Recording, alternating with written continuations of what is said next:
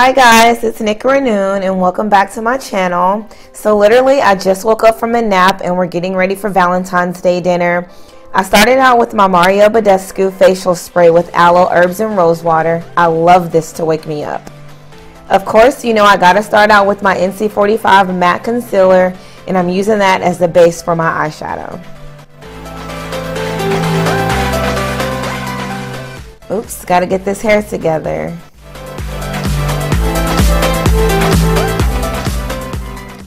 So as a transition color, I'm going to be going in with Pop the Cork from this Tarte palette that I got over the holidays. Now guys, I'm in love with this camel color. It's like the perfect transition color, I believe, when you want to go in with like a bronzy or gold eyeshadow look.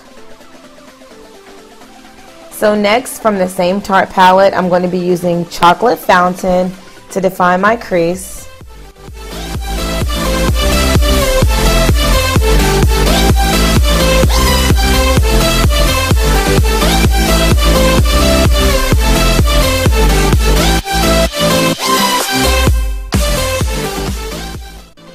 And I'm just going to blend that out so there aren't any harsh lines.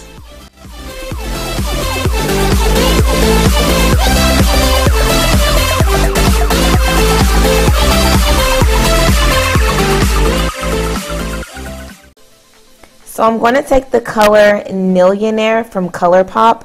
Now this is probably my second favorite eyeshadow from ColourPop next to Telepathy. I love the hint of gold and shimmer that this eyeshadow gives and I believe it's perfect for you know a sexy date night, a dinner, or just going out with your boo. I'm going to go ahead and apply with my finger because I did notice that it picks up a lot more pigment when you use your finger and I absolutely love this method.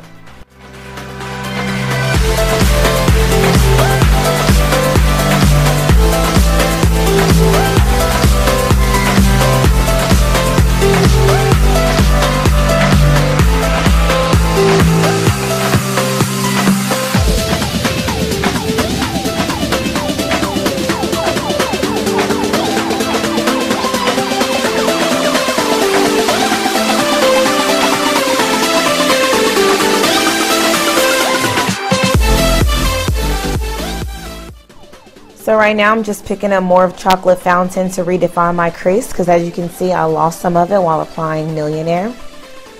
And I'm just going to clean up the excess fallout. I did notice the Nillionaire has a little more fallout compared to the other eyeshadows in the palette. And per usual, I'm going in with Kat Von D Tattoo Liner in the color Trooper.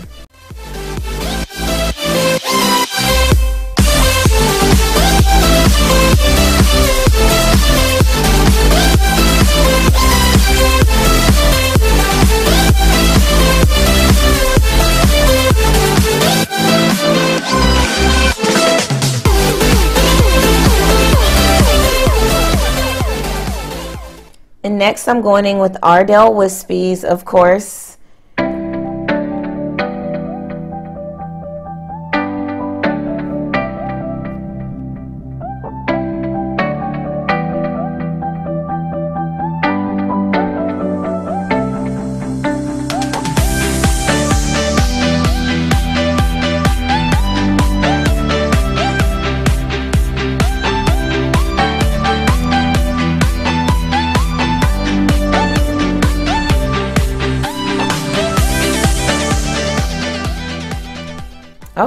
Now that we've got the hard and most stressful part out of the way, you know I have to go in with my CeraVe Moisturizing Lotion.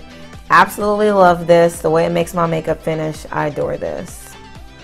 So today I'm actually going to be going in with my Dior Skin Star Foundation in the color 50. One of my favorite foundations. It has SPF 30 in it. It's super long wear. And I believe that it gives me a matte finish. I don't really produce too much oil when I use this foundation.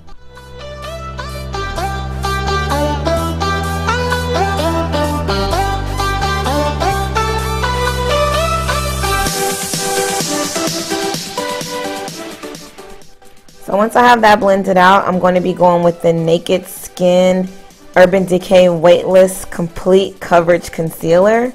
That was a lot.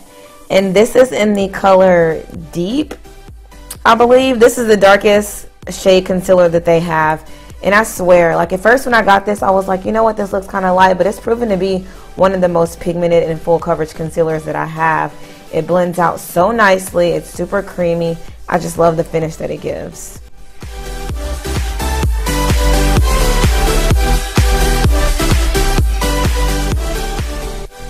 And I'm just taking my beauty blender, or wait, I can't think of the name of it, but I'm going to use that to blend out my concealer.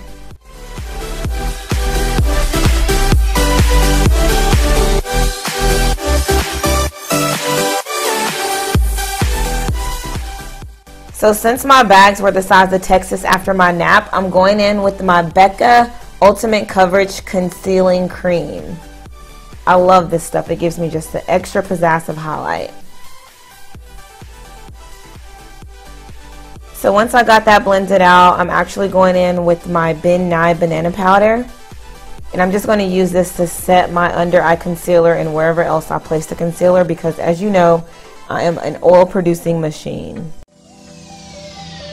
So now we're just going to set it and forget it. I'm going to be, you know, brushing out my eyebrows to start, and then I'm going in with the all-time favorite, Anastasia Beverly Hills Brow Wiz.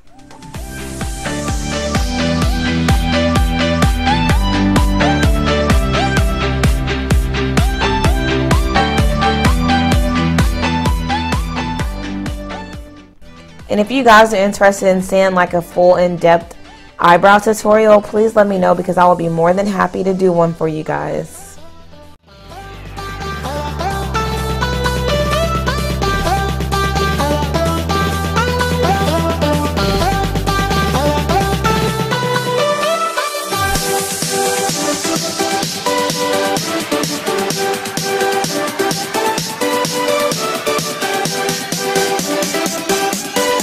So once I get my eyebrows filled in to perfection, I'm going to go be going in with the NYX eyebrow gel so we can make sure these eyebrows are extra fleeky.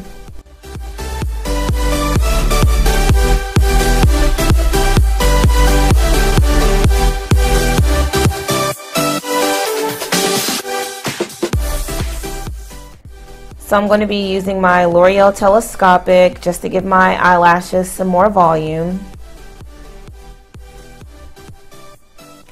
And removing the excess setting powder that I applied.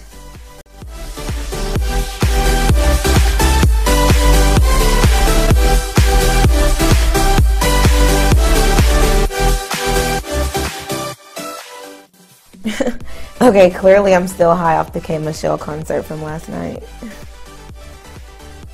Get it together. So I'm going to be using this chocolate brown color from my Makeup Forever palette. I honestly do not know the name of it, but like I've said plenty of times, it's the darkest color that they have. And once I figure it out, I promise I'll start including it in my tutorials. But I just want to contour my nose to give it a little more, you know, chiseled look and just slim it out a bit.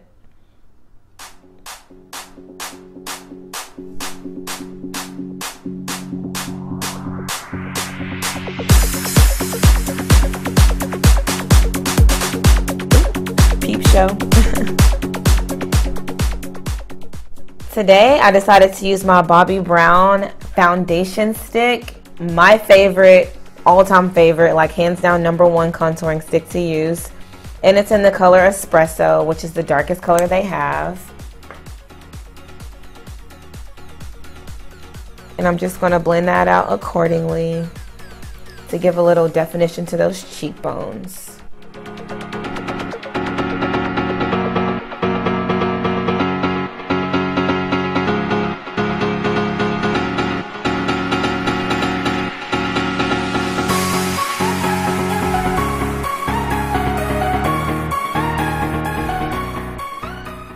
So to set that um, contour, I'm going to be going in with the same chocolate brown that I used to contour my nose and just apply that everywhere I put that foundation stick.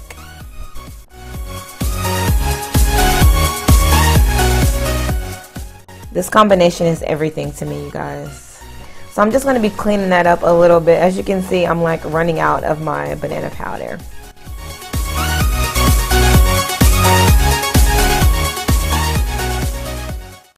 So one of my favorite techniques to do for myself is to highlight my nose. I feel like I just love this step.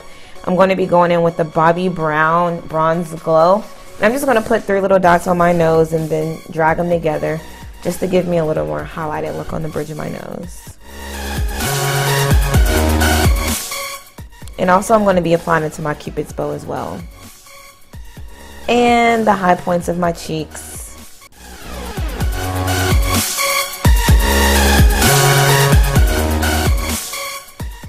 I'm applying it everywhere.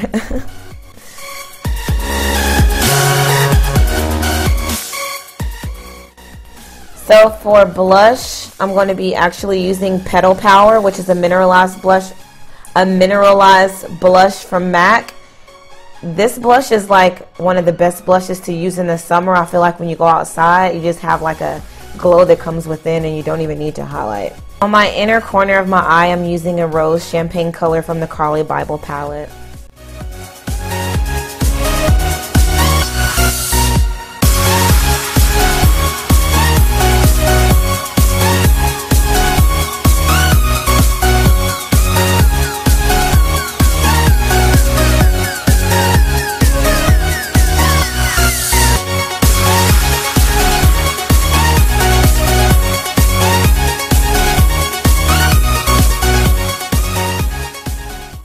Just removing that excess setting powder with the brush from Urban Decay. It's just a finishing brush that I picked up and it's actually pretty nice. I love this to remove like any of my setting powder. And I'm just bringing the bronzer down to my neckline to make everything a little more defined.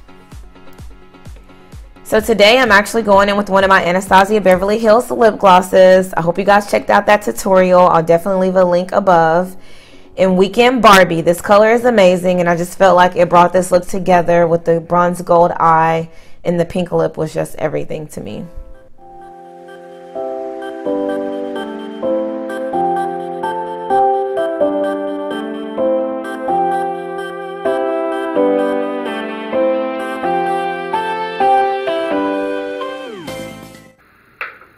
Okay guys, so this pretty much completes my look. I'm to go finish my hair, put on my outfit, and then I'll be right back.